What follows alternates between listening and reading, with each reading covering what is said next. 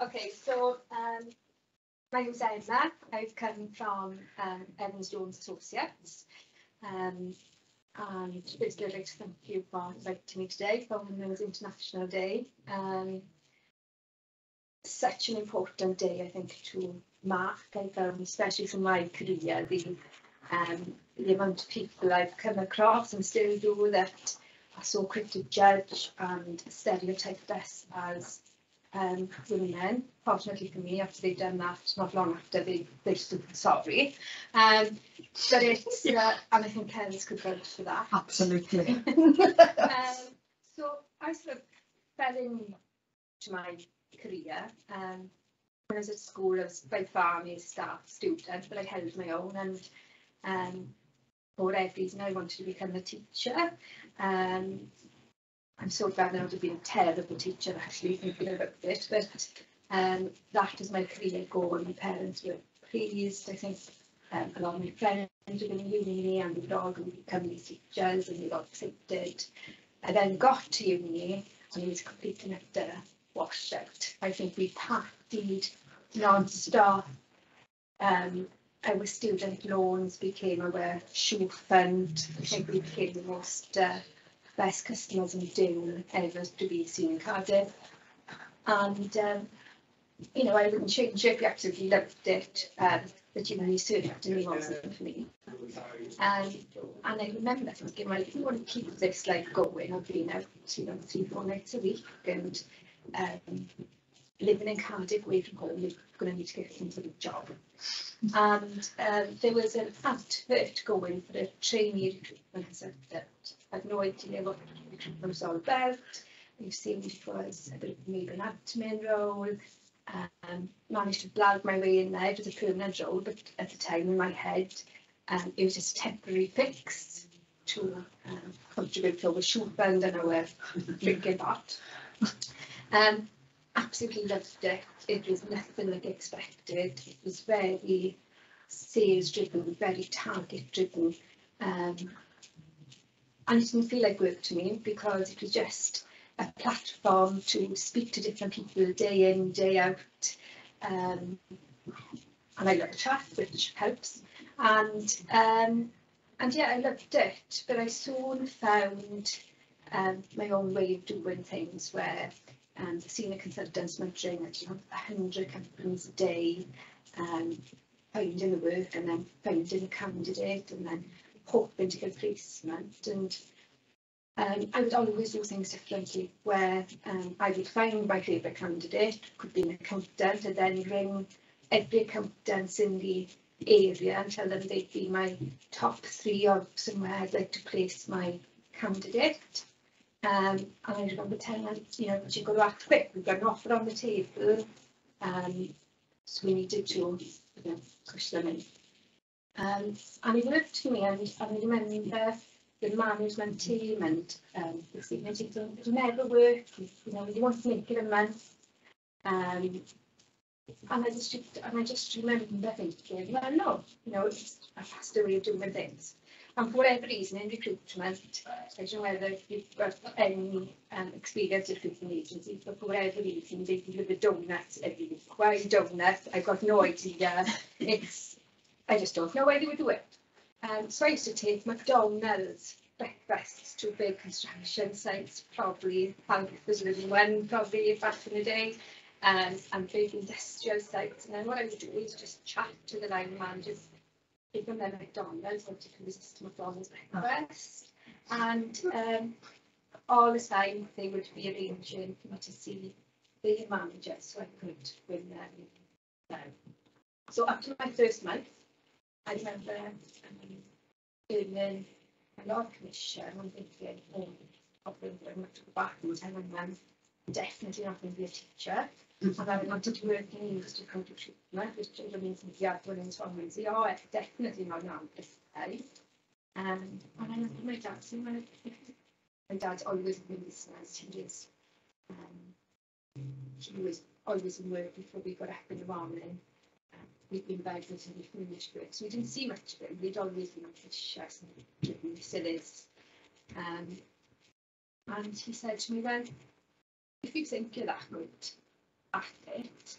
Um, while you think somebody else, why not, you know, bear in mind who's eighty, living the life of Riley in my opinion. Um, but something clicked and, um, I thought, yeah, maybe, you know, in time, this could be my career. So I wanted to learn everything there was to know about document. Um, if you looked at my CV, I'd probably had the worst CV because every six months with job hopping. But I was job hopping for a reason. I wanted to learn the different industries. I wanted to know about um, garden, recruitment, head, anything there was to know. I wanted to know. And it was great. I, by this time, I think I've been in the industry two years. By the semester, I was 22 at night.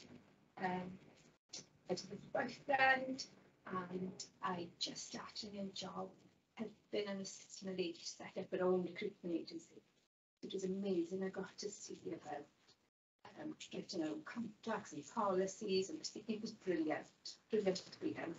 And then I was pregnant unexpectedly, and I'll never forget. I remember it like yesterday where she, when I told my manager after it sunk in, I was happy and excited. Probably not the day I found out, but the day after was great. And I remember going in and telling her, oh, I'm pregnant, um, I'm excited. And I remember her sitting down saying, is this really what you want? Do you think that um, you should keep the baby? And, and um, I was mortified and I just Remember thinking, this is coming from another woman, and I think I was so naive, I wouldn't expect that from somebody. And she said, you know, you can't have it all. You either have your career, your high flying career. You know, I was probably working 14, 15 hours a day. Um, or you have a baby, you know, it's, it's up to you.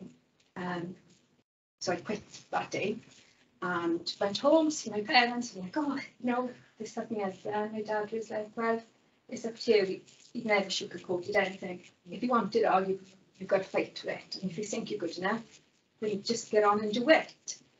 Um, so I went on and had Ryan, my eldest.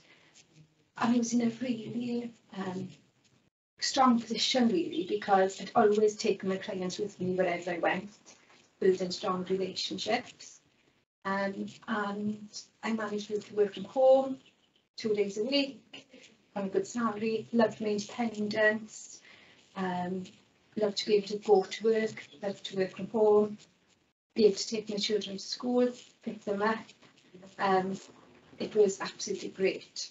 And then over the years, by meeting when we became clients, led me to um, open loads of different opportunities. I think when um, not such great idea was like opening a call centre and uh, then opening an agency and um, but I had the confidence, I think, from the support of my parents, my husband, was it's okay to face. So we can try these things and um, and it was great. And then I sort of was in my little bubble up until about 2015, where I was on good money, working from home, um, being a mother, being a wife.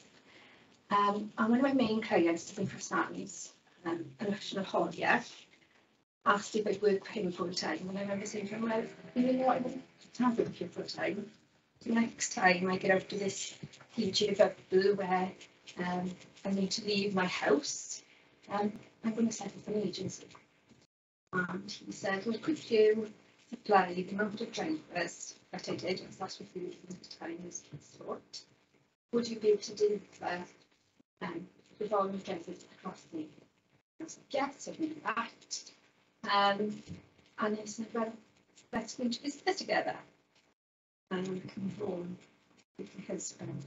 And it'd be worth just all this and say, oh, but you know, I like the pajamas and, you know, and uh, but we decided to go for it. And I remember sitting down um, and going through um, starting negotiating and he was like, so what's it going to cost me and this and that and saying, and I was like, well, these are my rules.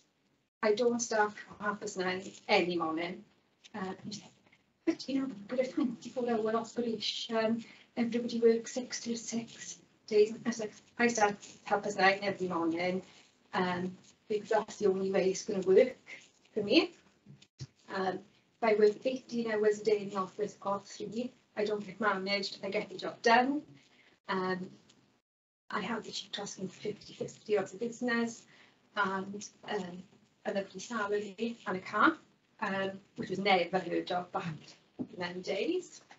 And we struck a deal and we created Evans Jones. So within a week, we'd set up the business, everything was ready to go. Um, I remember him asking at the time, so why are you called Evans Jones Associates?